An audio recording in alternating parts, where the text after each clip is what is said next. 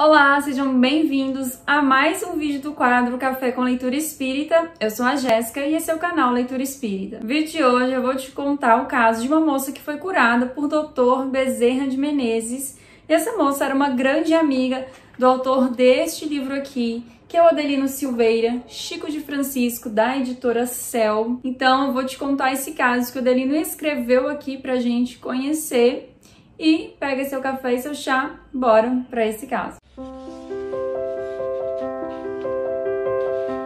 Bom, antes da gente entrar nesse caso, você já sabe, né? Deixa seu like, que assim você me ajuda muito. Se inscreve no canal se você ainda não é inscrito e me segue lá no Instagram, que é leitura.espírita. Hoje Lili está aqui, minha baby girl. Gente, olha que bonitinha, esse cachorro, mamãe.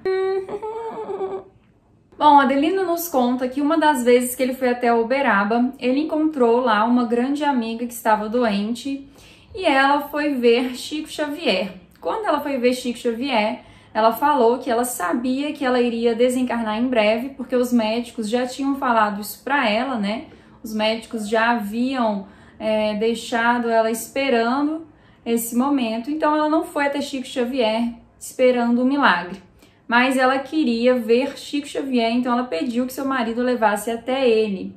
E aí lá, falando com Chico, ela fala isso, né, de que não foi esperando cura, nenhum milagre, mas que ela queria que Chico Xavier orasse para que ela, no momento de desencarne, tivesse serenidade. E Adelina nos conta que ele ainda se lembra do que Chico Xavier respondeu para sua amiga.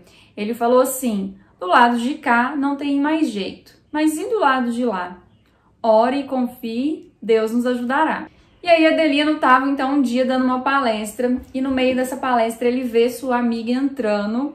Ela estava com uma roupa longa e de branco. E aí Adelino quando vê ela já pensa assim: "Ai meu Deus, é fulana, ela desencarnou e eu tô vendo ela".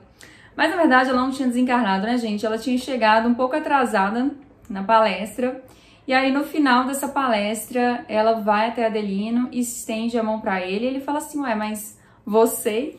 E aí ela fala para ele: "Você se lembra daquele dia em Uberaba?" E Adelino responde: "Como eu vou me esquecer?"